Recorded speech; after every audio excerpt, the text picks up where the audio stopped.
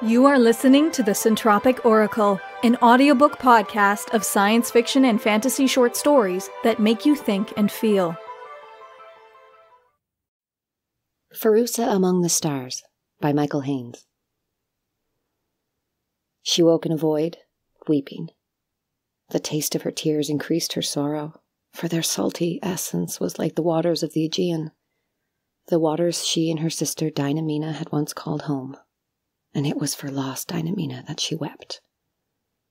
There was a time when the sailors had entreated the sisters to bring them swiftly to their destinations.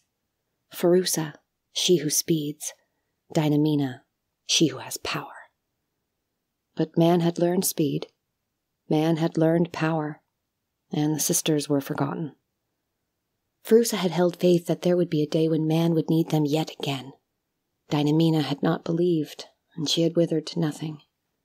Still, Pherusa had waited in the silvery cave of the nymphs, praying to Pontus, to Tethys, praying that her faith was not in vain. Now she had lost even her beloved waters. Pinprick lights of stars surrounded her. Pherusa was adrift within the sky. Without the rise or fall of the tides, the beat of the waves, the reflection of the rising or setting sun on the waters, Pherusa had no sense of time's passage. It could have been a day or a year since she had awoken. She wished to return to her slumber, to the internal void which held no memories, no sense of loss, no pain, but this was denied to her. At last she moved. The sky's waters were nothing like the earth's. They gave barely any resistance, and there was no life here, no silty bottom to explore. They were boundless and vacant. Among the stars, Pherusa swam, and still she wept. She sensed the humans before she could see their vessel. The flow of emotions from their minds was the first familiar thing she had experienced in this place. It guided her like a beacon, and she sped to the source. The ship was nothing like the ships she and Dynamene had aided.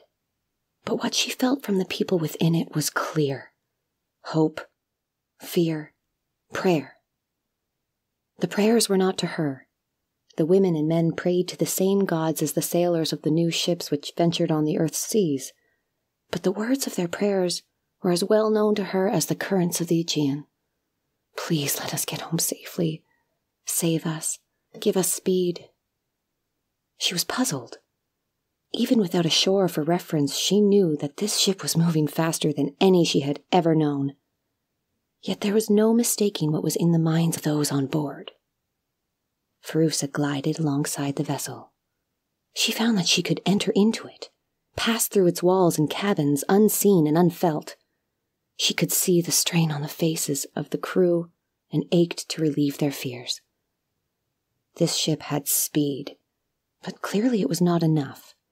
And there were no sails Pherusa could fill with winds, no oarsmen whose straining muscles she could calm. She searched the ship and the minds of those on board, striving to understand its means of propulsion.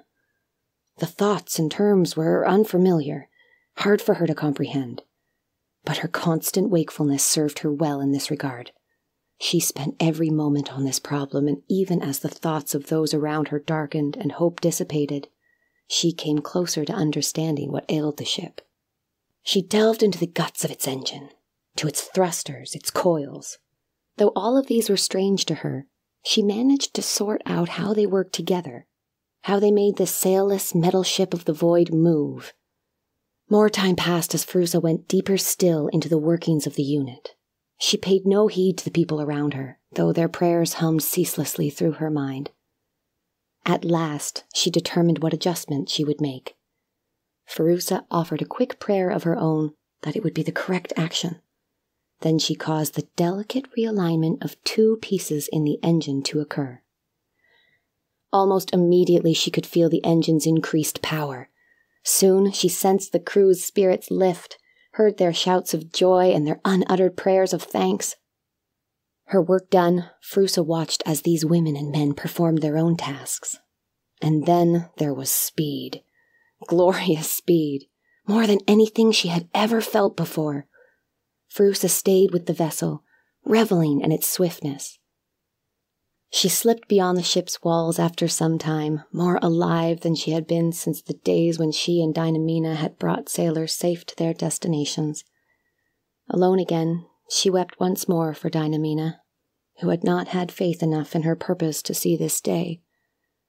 She would always mourn her lost sister, but Pherusa felt joy in her own renewed purpose as she sped through the void, these seas without wave or floor, in search of other sailors whose prayers she could answer.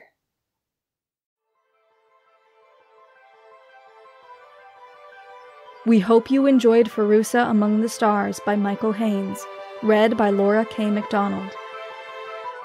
If you'd like to make a donation to the author and narrator of this story, check out the story page link in the description and click the PayPal donate button, or pledge your support to us directly on Patreon. Would you like to submit a story to the Centropic Oracle? A link to our submission guidelines can be found in the description.